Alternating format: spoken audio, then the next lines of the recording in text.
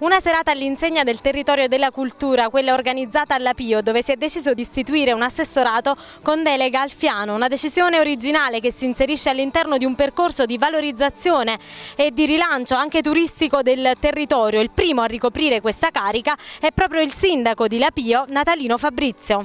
È risaputo che non è eh, un assessorato eh, diciamo, oh, tra virgolette con portafoglio, però è sicuramente un assessorato di impegno per il territorio, di impegno e di promozione.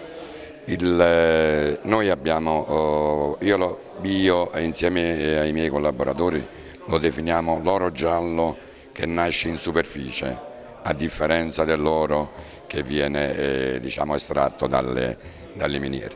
Quindi eh, dovevamo oh, obbligatoriamente impegnarci eh, per eh, ottimizzare eh, questo prodotto che effettivamente il Signore ha voluto donare ai colli, ai colli di Rapio.